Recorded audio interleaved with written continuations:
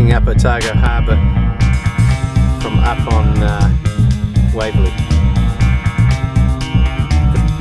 The harbour stretches 33 kilometres and it goes right out to Taiaroa Head where the albatross colony is.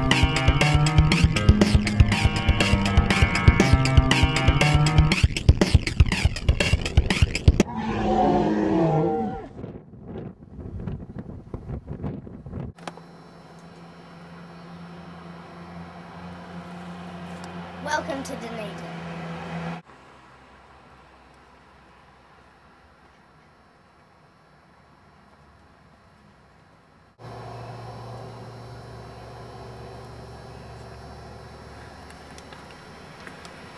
There's lots of different kinds of houses in Dunedin. This is our house.